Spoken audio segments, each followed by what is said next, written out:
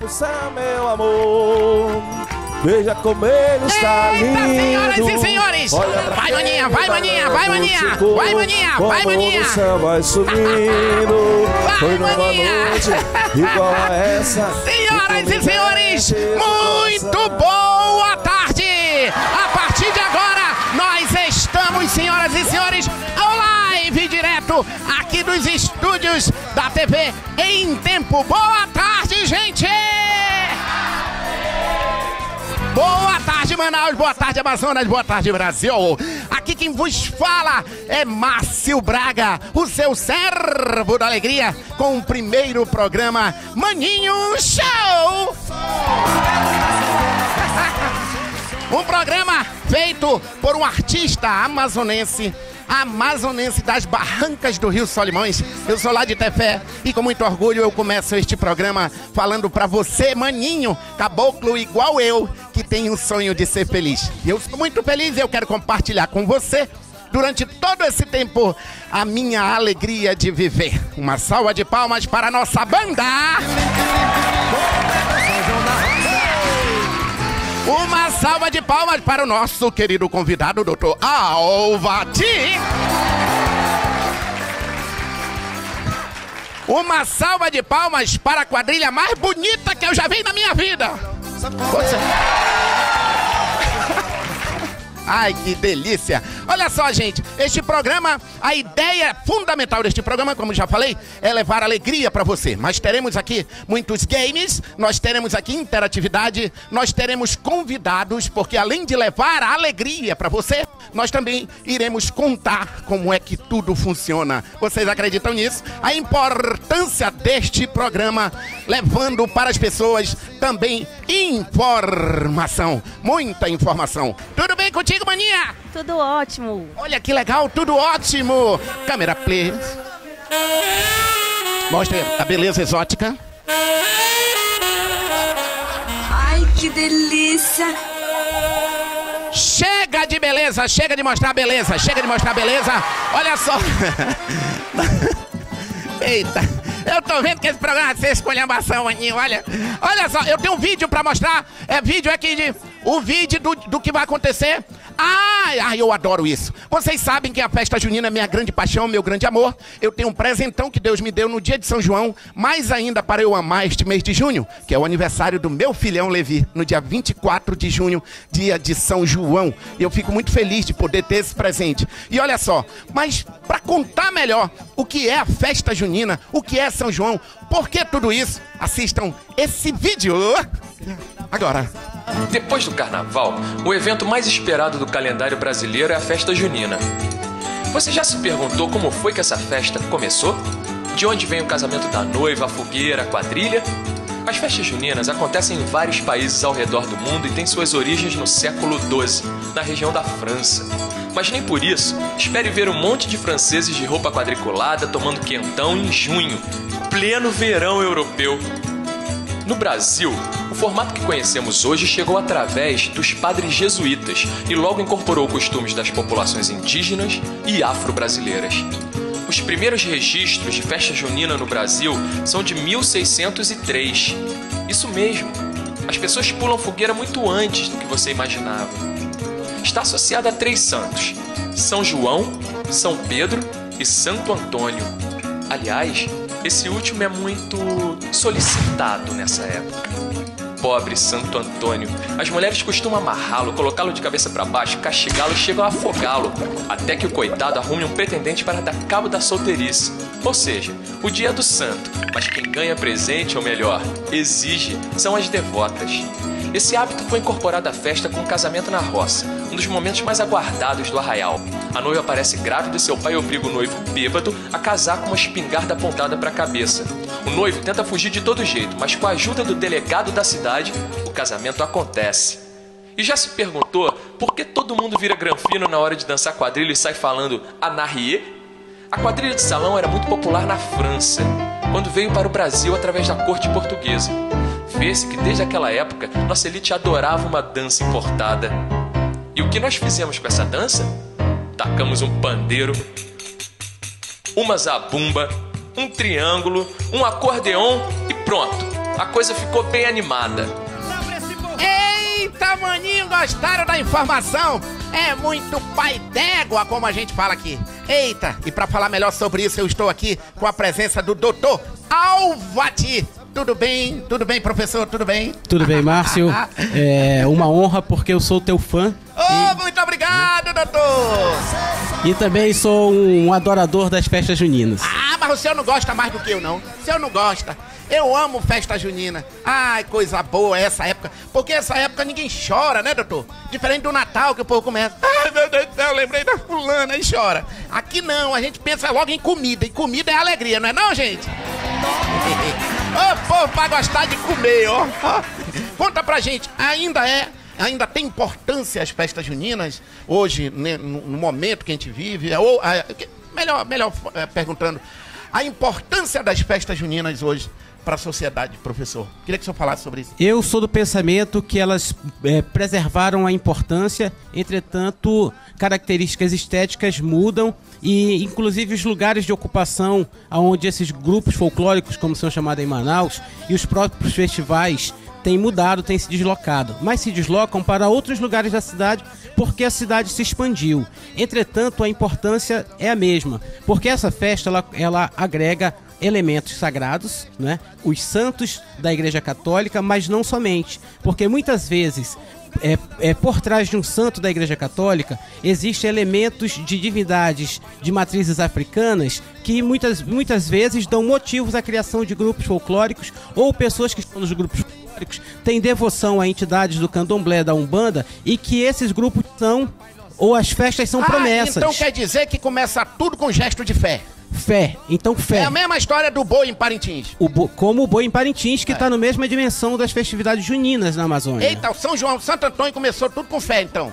A fé, e aí a, agrega dois elementos importantes da vida humana é, o sagrado e o profano. E eles não se dissociam. O sagrado motiva a existência da congregação, né? E essa congregação, em determinado momento festivo, de uhum. referência ao santo, ela ganha essa condição profana que é a festa. Eita, então tava aqui pensando, o santo caminha junto com o profano, é isso, professor? Exatamente. Eita, tem, por isso que tem uma hora que eu sou santo, tem uma hora que eu não sou. Eita, professor, uma pergunta. O senhor acha que as festas juninas estão se perdendo hoje, não? Eu penso que elas perderam espaços na, na área que hoje a gente chama Zona Sul da cidade de Manaus. Né? Elas ah, perderam dizer, onde, nasce, onde tem prédio hoje, é, o povo tá, é, não, tá, não faz muita festa Você veja, nesse, nos condomínios se faz. Eu é, falo, faz porque eu faço, é. graças a Deus, eu não faturo. Então, as espacialidades anteriores, e aí eu tô aqui é, jogando contra a ideia de que elas se perderam. É que espacialidades da cidade da década da década de 40, de 50, de 60 foram ocupados por outras estruturas. O grande elemento para as pessoas antigas dos festivais folclóricos do Amazonas, esses realizados em Manaus, é o General Osório, mas que desde a década de 60 ele foi encampado pelo exército. Olha, e, que interessante, eu não sabia disso. E, e, e, e, e muitos grupos deixaram de existir, mas em essência eles não morreram, porque eles porque ele, pessoas que pertenciam a ele quando migraram para outros bairros no processo de expansão da cidade, uhum. sobretudo a partir da Zona Franca de Manaus, né, e que se permane e que perpetua até hoje essa expansão da cidade, esses grupos foram ressurgir em outros lugares. Eita! Eu... Eita, professor! É muita informação, pelo amor de Deus, pra quem fez Mobral igual eu.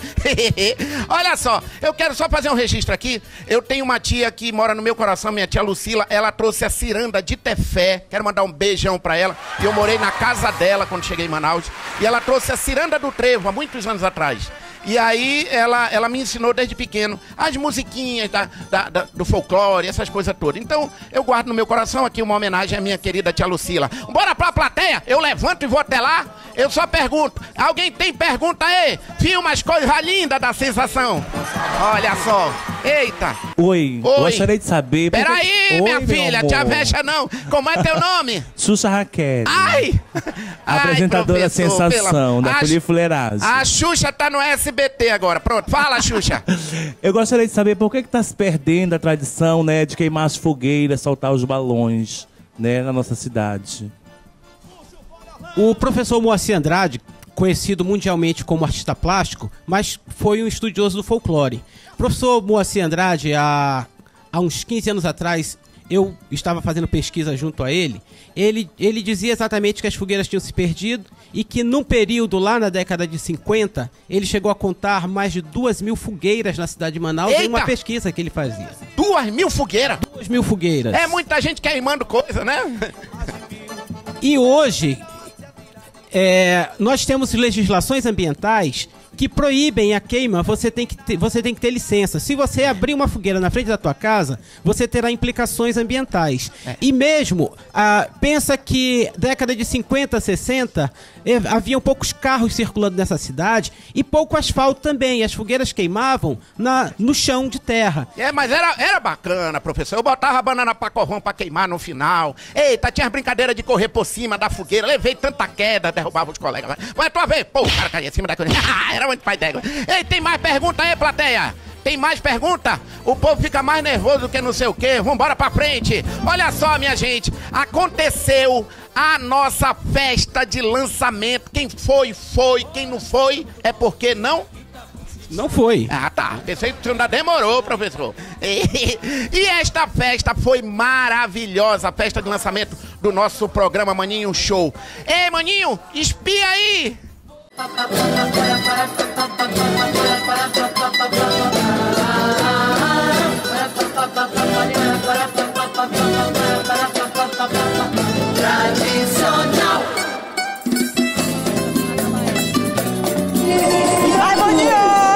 Ritmo da ciranda, mais uma atração dessa grande festa aqui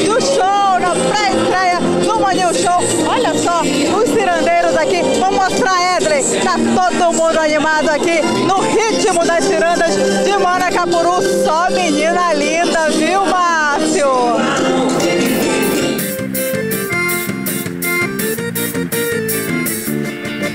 Eu quero o sacolejo da morena. Simbora! Eu vou marupiar nesse salão. Eu quero o sacolejo da morena. Eu vou marupiar nesse salão.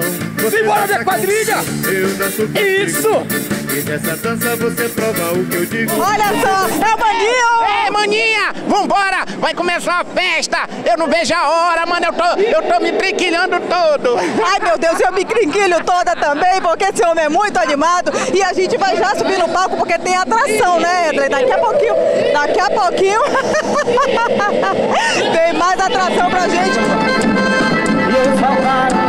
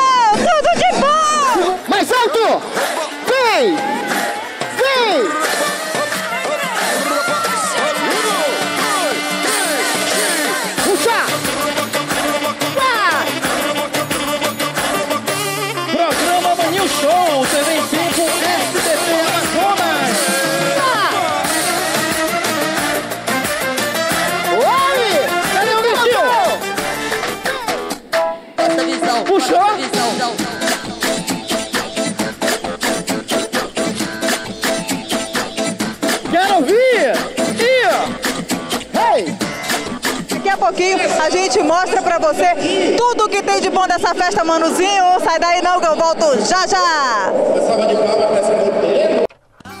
Eita, é mesmo, é? Não acredito! Mas, tá bom. Ih, voltou. Ei, minha gente, tudo bem? Olha só, estamos de volta. Gostaram do VT? Gostaram da festa? Gostaram? Coisa boa. Ei, seus mentirosos. Olha só, por que que tem esse orelhão? Porque você vai me ligar e nós vamos falar ao live. Ó, quando tocar isso aí, é pra eu dar alouras. Aí vai soltar. Alouras! Ai, ai, ó. Ah, sou eu! ah, bora ensaiar! Toca de novo, nojento! Alouras, quem fala? E o cara grita de lá. Ei, é a mamãe! Ah, Olha só, nós estamos de volta. Tudo bem contigo, Raifran? Tudo bem, Márcio? Tudo beleza? Que prazer bom, estar né? aqui com vocês, Raifran, o Júnior e o Kels. Mostra de perto, mostra de perto, que os meninos são bonitos, não é brincadeira não. Ó, pra vir no programa tem que ser bonito. Ó, aqui é o Kels, sanfoneiro, tudo bem, Kels? Aqui é o Raifran, cantor, diz ele. E aqui tem o Júnior, que não tira o óculos para as crianças não correrem da sala. É. Tudo bem, Raifran? Tudo bem, graças a Deus, mano. Saudade de você. Ah, que honra poder tê-los aqui. Ah, nós já nos encontramos em várias festas, né? Exatamente, E- a honra toda nossa. Programa piloto. É, Não é, mano? é piloto é o- quando é piloto é o primeiro, É o mano. primeiro. É, tem essa não. É, é pra dar sorte. É verdade. Mas também se não der certo, a culpa é tua, ó. Fala pra gente, maninho. Fala pra gente o que é que tu veio fazer aqui. Rapaz, além de Tu vender. veio tocar e cantar, depois tu fala, toca. Eita, pisadinha da nossa, trufo rosado. Eita.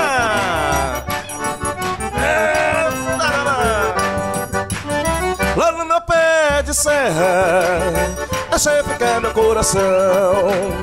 Olha que saudade eu tenho. Eu vou voltar pro meu sertão. Do meu roçado trabalhava todo dia. Mas no meu rancho tinha tudo que eu queria. Lá se dançava quase toda quinta-feira. Safona não faltava e tava shot a noite inteira. O shot é bom e se dançar. A gente gruda na cabocla se solta. Um passo lá e outro cá. Enquanto o fole tá tocando, tá gemendo, tá chorando, tá falando. Quero ver o povo cantando comigo bem assim, ó.